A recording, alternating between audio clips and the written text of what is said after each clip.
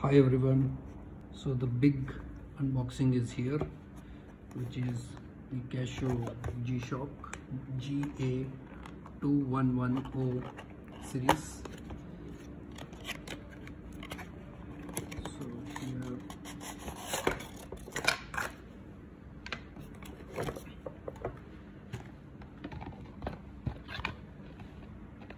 Here's the metal box. Nice metal box so after a lot of deliberation decided to go for